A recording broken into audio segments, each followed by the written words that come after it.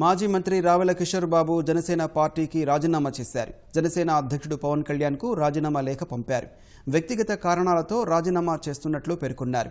ఇటీవలి ఎన్నికల్లో గుంటూరు జిల్లా ప్రతిపాడు నియోజకవర్గం నుంచి జనసేన అభ్యర్థిగా పోటీ చేసి ఓడిపోయిన రావెల అప్పటి నుంచి పార్టీకి దూరంగా ఉంటున్నారు. ప్రధాని మోదీ తిరుపతి రానున్న దృష్ట్యా రావెల భాజపాలో చేరుతారనే వార్తలు వినిపిస్తున్నాయి.